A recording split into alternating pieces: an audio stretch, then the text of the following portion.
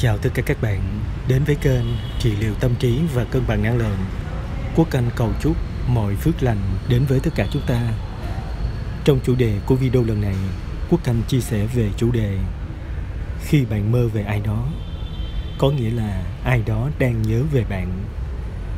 Những giấc mơ thật bí ẩn, chúng mở ra một thế giới vô cùng tò mò và kỳ lạ mà chúng ta là con người luôn cố gắng giải mã có rất nhiều lý do khiến bạn có thể đang mơ về một ai đó nói riêng.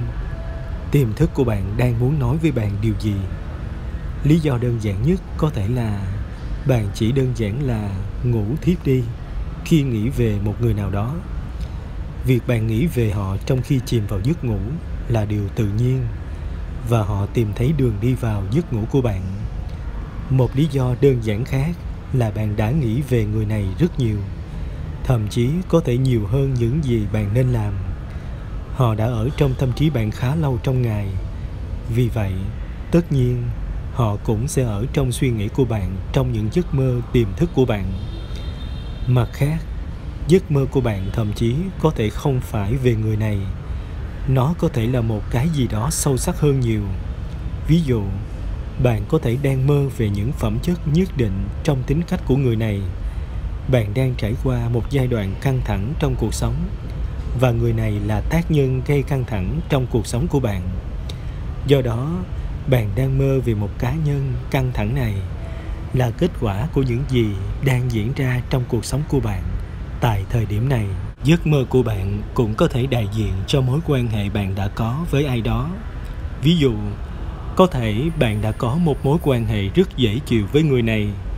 Điều này có thể xảy ra nếu bạn bắt đầu có một mối quan hệ tuyệt vời với một người khác, hoặc đơn giản là bạn đang có một khoảng thời gian yên bình trong cuộc sống của mình, không có gì lạ khi mơ về một người mà bạn quan tâm. Sau cùng, có thể bạn đang nghĩ về họ nhiều và liên tục trong suốt cả ngày. Vì vậy, tất nhiên, họ sẽ đi vào cõi những giấc mơ của bạn. Tuy nhiên, hãy để ý kỹ những gì xảy ra trong giấc mơ. Ví dụ họ có thích bạn trở lại không? Điều này có nghĩa là bạn hoàn toàn yên tâm về bản thân và tự tin. Bạn thậm chí có thể có đủ tự tin để tin rằng họ thích bạn trở lại. Điều đó có nghĩa là bạn đã sẵn sàng thực hiện bước tiếp theo để thúc đẩy mối quan hệ của cả hai. Mặt khác, nếu họ không thích bạn trở lại, đây có thể là tín hiệu cho thấy bạn thiếu tự tin và tin rằng bạn sẽ bị ai đó từ chối điều này khi bạn mơ thấy người mình yêu, điều quan trọng là phải chú ý đến những gì xảy ra trong giấc mơ của bạn. Nằm mơ thấy người mình yêu thường xuyên hơn không? Sẽ cho bạn thấy tình yêu và niềm đam mê của bạn sâu đậm như thế nào đối với cá nhân này.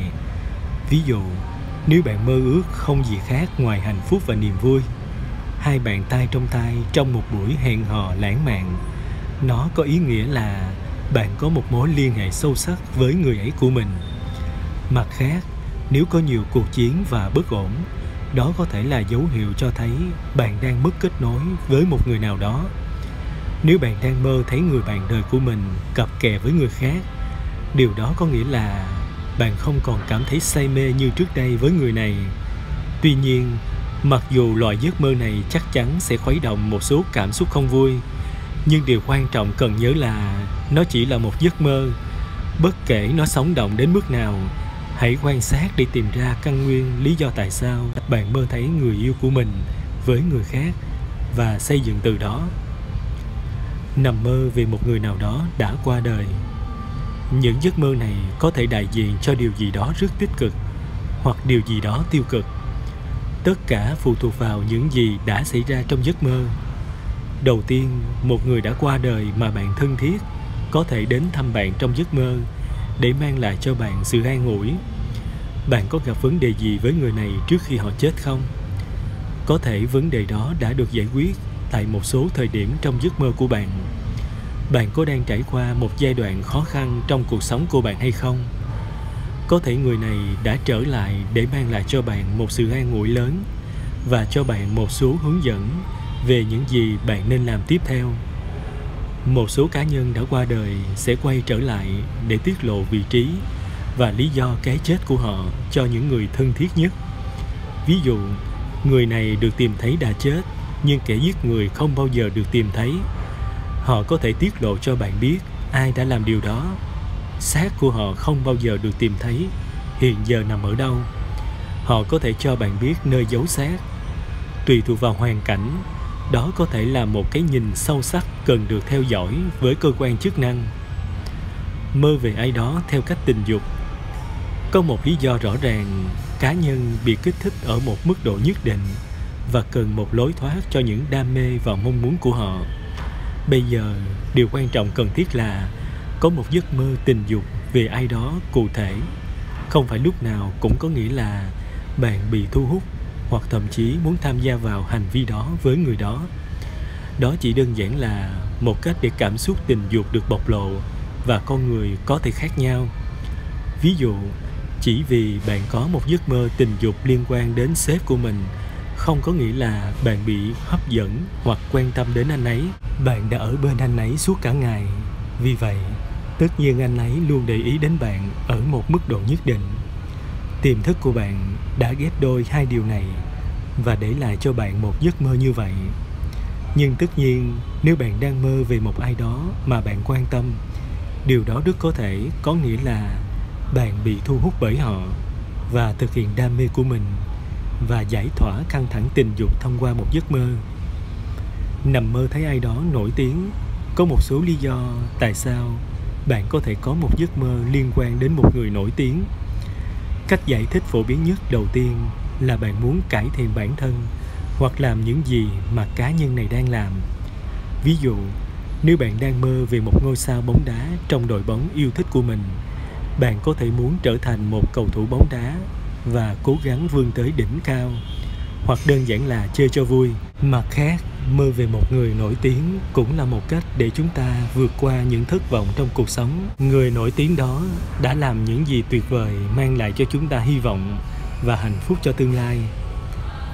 Đôi khi bạn mơ về ai đó, bất kể đó là ai, điều đó hoàn toàn không có mối tương quan nào với cá nhân thực sự đôi khi những người này ở đó để tượng trưng cho những điều bạn đang cảm nhận hoặc những điều đang diễn ra trong cuộc sống của bạn. Đôi khi những giấc mơ này nhằm giúp bạn nhìn thấu vấn đề, vượt qua trải nghiệm tồi tệ hoặc mang lại cho bạn hy vọng và niềm vui. Hãy chú ý hơn đến những gì đang diễn ra trong giấc mơ và giấc mơ khiến bạn cảm thấy như thế nào. Như chúng ta đã biết, những giấc mơ đôi khi có thể thực đến khó tin và đôi khi đó chính xác là những gì chúng ta cần nhìn thấy qua các tình huống hoặc cảm giác trong cuộc sống hiện tại của mình. Khi bạn mơ về một người cụ thể trong giấc mơ của mình, thông thường bạn sẽ áp dụng bất cứ điều gì đã xảy ra trong giấc mơ vào bối cảnh đời thực. Ví dụ, nếu bạn chia tay với bạn trai và sau đó mơ về việc quay lại với anh ấy, bạn sẽ dễ dàng tin rằng quay lại với anh ấy là điều nên làm những giấc mơ được trình bày cho chúng ta dưới dạng mã và ký hiệu. Sau đó chúng ta phải tự giải mã. Một người có thể có một giấc mơ có ý nghĩa đối với họ, nhưng chính giấc mơ đó có thể có ý nghĩa hoàn toàn khác với người khác.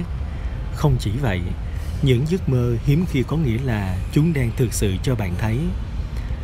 Khi bạn mơ về ai đó, điều đó có nghĩa là họ đang nhớ bạn. Có khả năng người mà bạn vừa mơ về không nhớ bạn nhưng có nhiều khả năng người đó là hình ảnh phản chiếu điều gì đó trong cuộc sống của bạn. Nằm mơ thấy ai đó đặc biệt, chẳng hạn như bạn bè hoặc người thân. Có thể là cách tâm trí của bạn nói rằng có điều gì đó bạn cần phải xem hoặc hiểu. Có lẽ bạn đang hiểu rõ hơn về người đó, hoặc có điều gì đó trong tâm trí bạn sẽ giải quyết được vấn đề.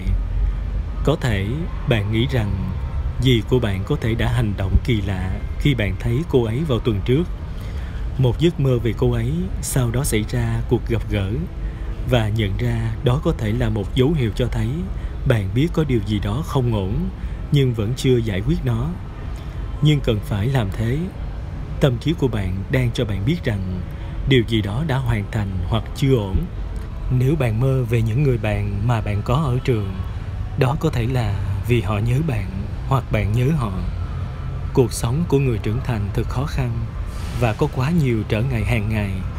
Nếu bạn đang gặp khó khăn, mơ về những người bạn cũ, có lẽ là cách tâm trí của bạn nói rằng bạn nhớ khoảng thời gian đó, chứ không phải con người cụ thể ở thời điểm đó. Nếu bạn mơ về việc quay lại với người yêu cũ, hãy nhìn xem điều gì sẽ xảy ra trong giấc mơ. Khi bạn quay lại với nhau, bạn có sống hạnh phúc mãi mãi không? Hay là những thứ giống hệt như trước đây? Đó có thể là cách tâm trí của bạn nói với bạn rằng sẽ không có gì thay đổi nếu bạn quay lại với nhau. Bạn đã biết điều đó. Vì vậy, bằng cách chống lại điều đó, bạn đang đi ngược lại chính mình. Thật khó để từ bỏ một người mà bạn thực sự quan tâm. Mơ về ai đó luôn có nghĩa là họ nhớ bạn. Đó thường là một dấu hiệu cho thấy bạn cần phải làm việc gì đó trong bản thân giấc mơ điên rồ nhất, kỳ lạ nhất hoặc tuyệt vời nhất mà bạn từng có liên quan đến một người nào đó là gì? Các bạn có thể chia sẻ bên dưới video. Đó là cách mà tất cả chúng ta cùng nhau cộng hưởng để làm cho cuộc sống trở nên tốt đẹp hơn. Ngoài ra, các bạn có thể kết nối trực tiếp với quốc anh qua fanpage và qua zalo mà quốc anh đã đính kèm bên dưới video. Quốc anh chúc tất cả các bạn thật nhiều sức khỏe và may mắn. Chào tạm biệt và hẹn gặp lại.